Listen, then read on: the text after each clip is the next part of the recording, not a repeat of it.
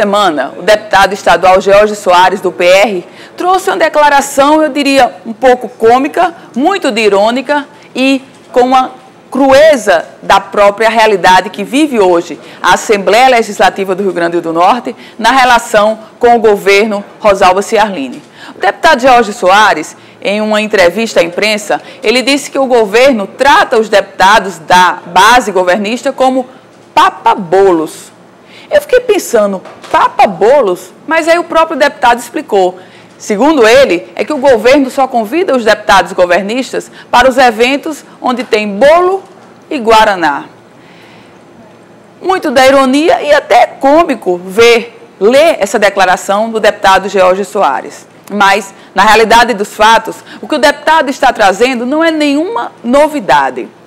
O governo do Estado vive hoje uma crise com a Assembleia Legislativa, com a base de apoio à governadora Rosalba Ciarline no Legislativo Estadual do Rio Grande do Norte.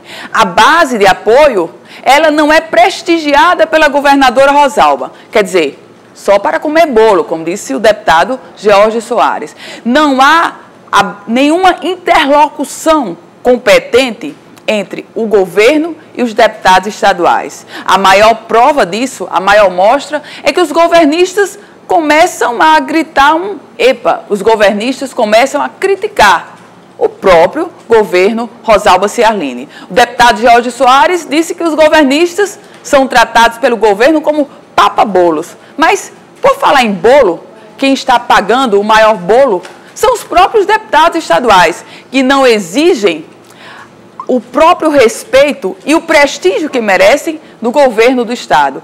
Mas, afinal de contas, quem deve exigir respeito não é o governo para os deputados, são os deputados para o governo. E até que isso seja concretizado, os deputados governistas continuarão apenas papando bolos.